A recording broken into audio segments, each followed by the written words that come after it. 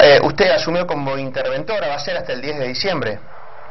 Efectivamente, hasta que toda la comunidad de Salvador Massa, a través del voto popular, pueda designar al sucesor de esta intendencia.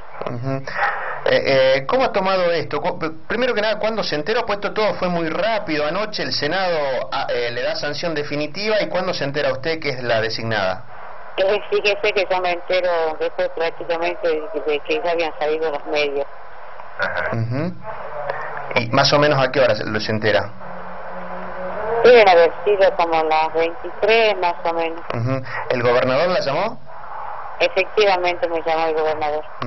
Eh, ¿Y esta mañana se fueron temprano, tengo entendido, en helicóptero? Efectivamente, este, a las seis y media partimos eh, para acá con destino a Salvador Massa. Bueno, ¿cómo encontró Salvador Massa, por lo menos en lo que está esta mañana de hoy? Este, tengo que ser sincera, eh, tranquilo, este, no hubo ningún tipo de manifestación, al contrario, había un grupo numeroso de personas. Mercedes, ¿se va a juntar con Villalba? Eh, no, yo no tengo previsto de juntarme con el ex intendente.